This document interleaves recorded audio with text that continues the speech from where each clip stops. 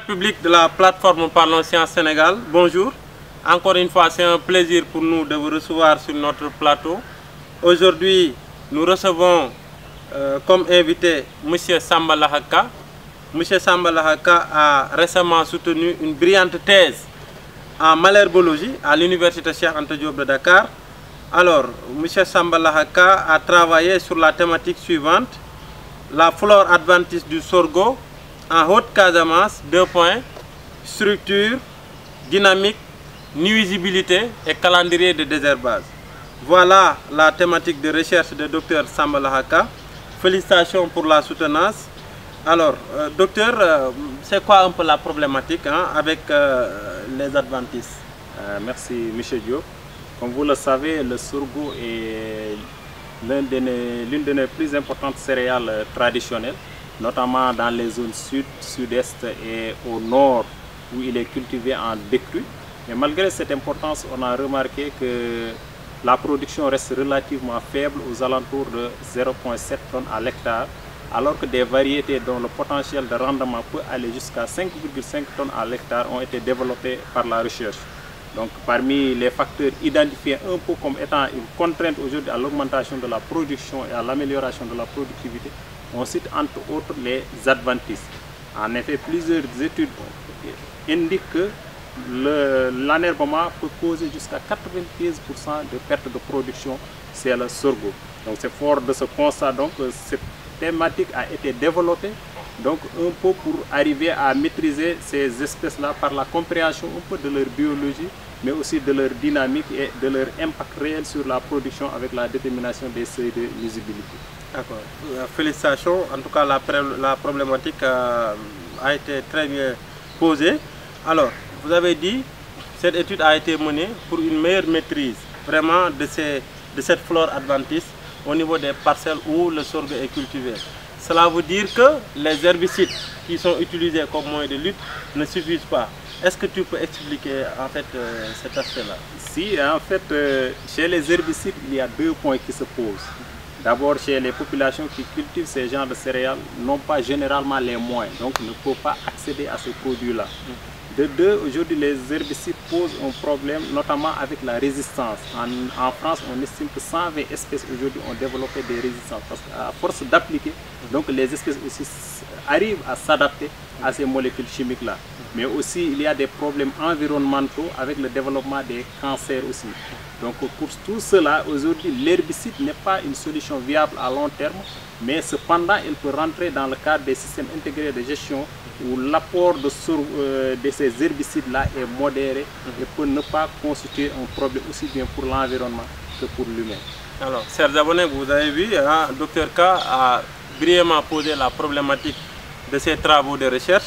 Alors, Dr K, c'est c'est quoi l'approche méthodologique hein, que vous aviez un peu, en tout cas l'approche méthodologique qui a été utilisée par rapport à cette étude-là? Donc, euh, durant trois ans, donc euh, de 2015 à 2017, donc on a eff- effectué en fait euh, trois études.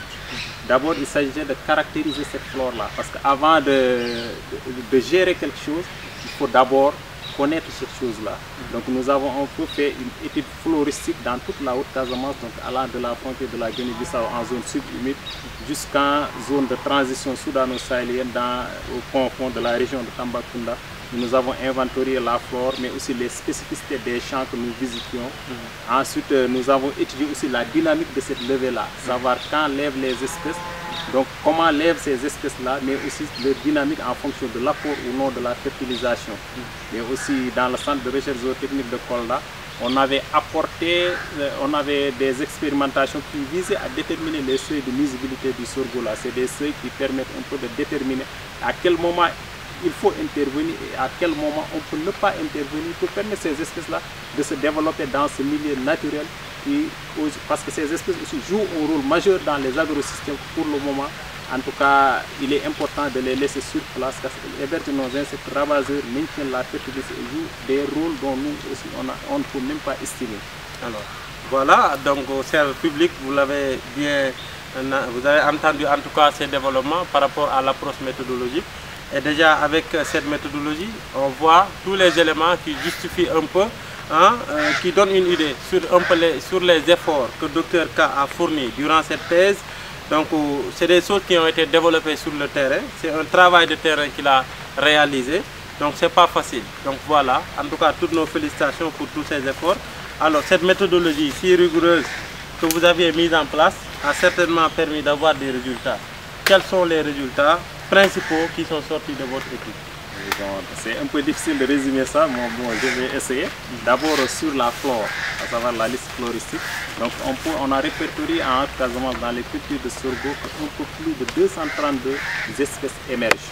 Donc parmi ces espèces même, il y en a qui n'ont pas été euh, encore euh, répertoriées dans la flore du Sénégal. Donc on a remarqué que c'est essentiellement composé par, les familles par la famille des fabacées et des poissées. Donc euh, ensuite on a étudié la dynamique. Cette dynamique-là nous a montré qu'en tout cas on a plus de diversité et aussi euh, plus de diversité dans les conditions non fertilisées et, même d'abondance dans les conditions non fertilisées comparé aux conditions d'apport azoté. Donc on a remarqué que l'engrais azoté a tendance à réduire la, diversité des espèces par un peu le développement des espèces les plus nitrophiles au profit des espèces oligotrophes donc qui sont spécialisées des milieux pauvres. Mais ensuite aussi, euh, on a déterminé les seuils de nuisibilité parce que l'agriculteur, ce qui l'intéresse, c'est les seuils de nuisibilité quand il faut intervenir et quand il n'a pas besoin d'intervenir. Donc on a situé en condition, quand on apporte de la fertilisation et de l'engrais et de l'engrais et de l'urée, donc l'agriculteur doit systématiquement désherber entre les 15e, le 10e et le 55e jour, la parcelle doit être maintenue propre. Aussi en conditions non fertilisées, donc c'est entre le 15e donc, et le 45e jour, la parcelle doit être maintenue propre. Mais avant cette date-là, avant le 15e jour, après ce jour, mais aussi après le 55e et le 45e jour, le paysan n'a pas besoin d'intervenir car il pourra avoir un rendement pouvant aller jusqu'à 90% de du, témoin propre. Donc même s'il maintenait propre, il n'aura que 10% de marge. Donc ce n'est pas la peine de se concentrer tout le temps dans le champ, mais aussi faut se consacrer à d'autres activités pendant cette période-là. Donc c'est un peu les résultats. Excellent, c'est des résultats qui sont extrêmement importants et je sais que c'est des résultats euh, qui vont certainement servir le Sénégal à travers l'agriculture. Donc toutes nos félicitations encore une fois, Dr K, pour tout ce travail. Alors, j'imagine que c'est, je, suppose vraiment que ces travaux ont été, que ces résultats ont été valorisés. Hein? Euh, oui, oui. Vous avez fait combien de publications Pour le moment, on est à trois publications, un peu sur la flore, sur la Critical Period of Profit Competition, euh, mais aussi euh, on a publié un peu sur la dynamique des levées et on a deux articles qui sont en cours de rédaction. Mais aussi nous avons partagé, il y a un chapitre de livre, une valorisation aussi, mais aussi on a partagé des résultats à travers des colloques, aussi bien au niveau du Sénégal qu'à l'extérieur. Donc on a eu un peu à, valoriser ça. Excellent. Donc trois, euh, déjà trois publications scientifiques et d'autres qui sont en cours. Et c'est des publications qui sont euh, en tout cas, c'est des travaux qui ont été publiés au niveau international. Donc, c'est des experts qui ont approuvé le travail du docteur K et qui ont scientifiquement validé vraiment ces, résultats. Donc, voilà un peu ce que font les, scientifiques. Ce n'est pas un travail facile. Donc, les gens font le terrain pendant des années pour avoir des résultats, lesquels résultats sont souvent valorisés à travers des publications au niveau international. Félicitations rapidement. Euh, recommandations par rapport à l'étude et des mots de remerciement. Il ne nous reste pas beaucoup de temps. Exactement. Recommandation surtout que c'est dans l'étude, dans les résultats aussi, on a trouvé que 16 espèces constitue aujourd'hui euh, en tout cas la problématique dans l'agrosystème en Casamance. on a remarqué que 13 de ces 16 espèces ont déjà été signalées dans le bassin arachidier depuis 1976 avec les merlés jusqu'à récemment avec les noba et les mbaï. Donc aujourd'hui je pense que la science, en particulier la maladiologie, doit se focaliser un peu sur la biologie et l'écologie de ces espèces-là pour pouvoir un peu arriver à les gérer parce qu'elles constituent un réel problème dans en milieu paysan. Mm.